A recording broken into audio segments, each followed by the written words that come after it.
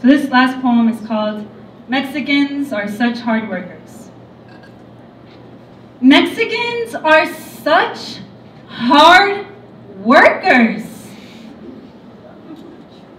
I overhear my porcelain teachers clink their teeth together, a toast in celebration of their tongues, proud to be so kind.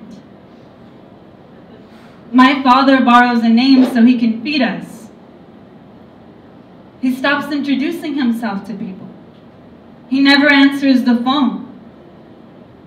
I dream about what he was before he was illegal.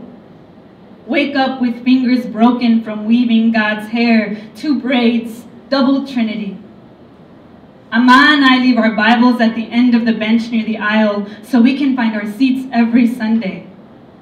I stare at everyone when their heads are bowed. I am in awe of their nakedness. But prayers only work if you close your eyes.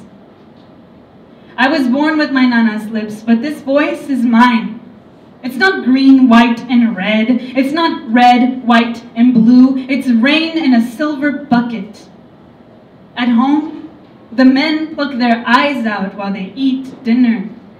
The world would end if we saw them cry. Mexicans are such hard workers.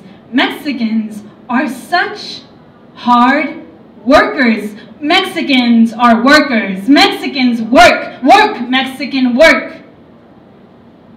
Mexicans are such hard workers. They say it like it's an honor to watch my father die. Thank you so much for being here.